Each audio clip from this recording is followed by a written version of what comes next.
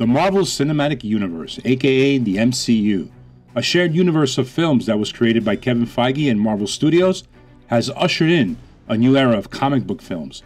No one can deny the meticulous craftsmanship that Feige and his team of artists have put into these films.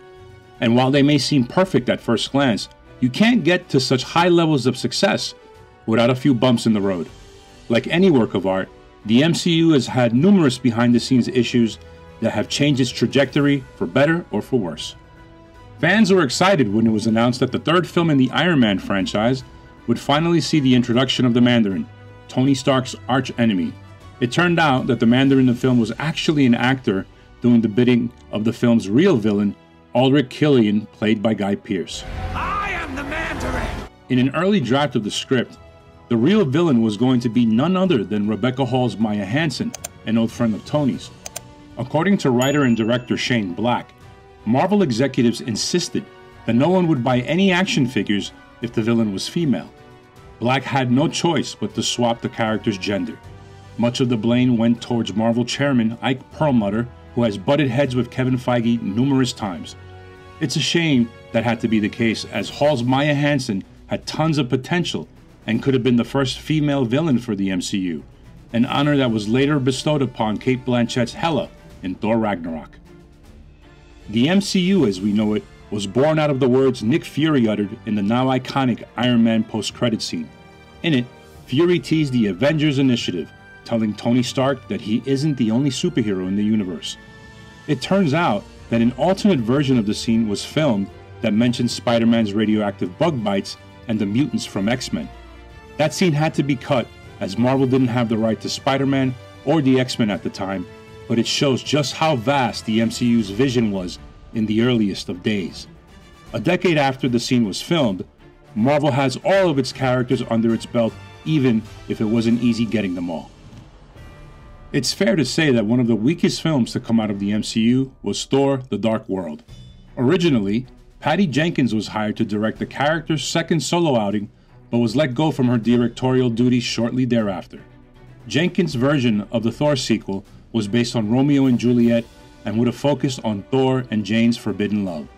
Shortly afterwards, Game of Thrones director Alan Taylor was brought on board to replace Jenkins. It's been reported that Natalie Portman was displeased that Marvel let Jenkins go, who would have been the studio's first female director. With the Romeo and Juliet plot, it's fair to say that Natalie Portman's Jane Foster would have had a more substantial role. Years later, though, Jenkins would go on to direct DC's Wonder Woman, the first modern day female superhero movie. Most fans seem to forget that the quick witted and sarcastic War Machine was originally played by Terrence Howard. Howard's tenure as Colonel James Rhodey only lasted for the first Iron Man film, which briefly teased the character donning the War Machine suit. As soon as the first film became a success, Marvel was quick to begin working on the sequel. It turned out that director Jon Favreau was having a hard time working with Howard and didn't feel keen on seeing him return to the role.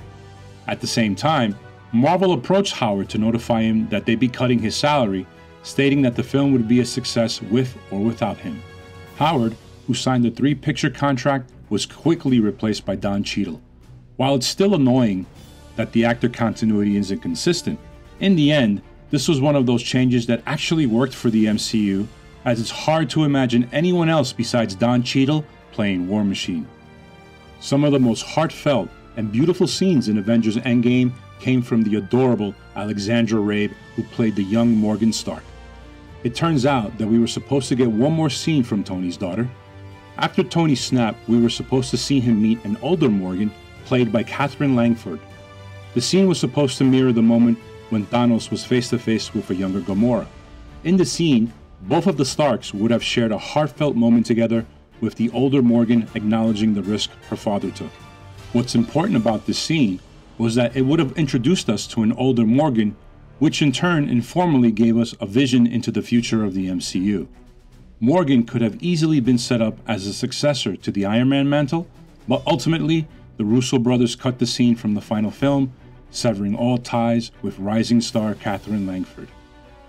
One of Kevin Feige's greatest hiring choices was getting geek icon Joss Whedon on board to write and direct The Avengers, the first film to truly show what the MCU was capable of.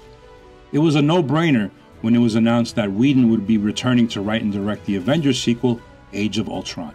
Expectations were high for the sequel, and while they were mostly met, many found the film to be filled to the brim with content that just didn't need to be there. It turns out that Whedon and Marvel had a quite the fallout as the studio forced the director to shoehorn in scenes like the mystical pool scene that set up Thor Ragnarok. The studio even threatened to cut out some of his favorite moments, like Hawkeye's farm, if he hadn't played ball. By the end of the film's production, Whedon described himself as broken and found the entire ordeal to be unpleasant, leaving the MCU for good. Whedon would later join Patty Jenkins over at DC, working on 2017's Justice League, while director Zack Snyder took a leave of absence. Another director who had to leave Marvel behind was Edgar Wright, who was working on Ant Man for over a decade. Wright was a huge fan of the property and was taking his sweet time with the character, making it just right for its live action debut. Edgar Wright's plans for Ant Man was so far along that he even shot test footage that premiered at San Diego Comic Con to roaring applause. As production grew nearer, it became clear to Wright that the studio wanted him to make the film more and more connected to the MCU. Months before filming was about to begin, Wright left the project because he just couldn't see head to head with the Marvel team. That being said, some of Ant Man's greatest casting choices, which include Paul Rudd as Scott Lang and Michael Douglas as Hank Pym, were all Wright's decision. So, we do have to give him some kudos there. Let's be honest, Hulk only became cool in the MCU once Mark Ruffalo took on the role in 2012's The Avengers. Since Ruffalo became the Hulk, fans have been begging for Marvel to give him a shot at leading his own movie. And while Ruffalo would love to headline his own movie as Dr. Bruce Banner, he has no choice but to be a supporting character in other heroes' movies. Universal holds the distribution rights to the Hulk, which means that Disney and Universal would have to spend time negotiating. Although Universal may hold the rights to the character, Disney has found the perfect legal loophole by having Ruffalo's Hulk appear in tons of MCU films as a supporting character. It isn't ideal, especially because Ruffalo does such a bang up job of portraying the tormented beast, but we'll take what we can get. James Gunn was fired from Guardians of the Galaxy Volume 3 in 2018 after some inappropriate tweets surfaced. While the tweets were in poor taste, they lined up with Gunn's gross out humor seen in his earlier films. DC, realizing that this was their time to shine, swept up Gunn and gave him the keys to the kingdom. Gunn ultimately landed on the Suicide Squad's sequel slash reboot, which is set to hit theaters in the summer of 2021. As time passed, Marvel realized that they prematurely fired one of their finest auteurs and got him reinstated back into his original role. While Marvel definitely lost face for their hasty decision, their main issue comes in the film's production being drastically delayed, essentially changing the course for the MCU. Filming on Guardians of the Galaxy Volume 3, which was supposed to begin in 2019, was pushed back, and there is still no word on when the film's production will actually begin because of what is happening in the world at the moment. The summer of 2019 was a devastating one for Marvel fans. As if seeing Tony Stark perish at the hands of the Snap wasn't enough in Endgame, Fans were blown away when J. Jonah Jameson leaked Spider Man's identity at the end of Far From Home. Spider Man's name is Peter Parker. And while the cliffhanger from the film left us wanting more, there was a brief period where we thought that would be the end of Spidey. After Far From Home hit theaters, Marvel and Sony went back to the negotiating table to figure out the character's future in the MCU.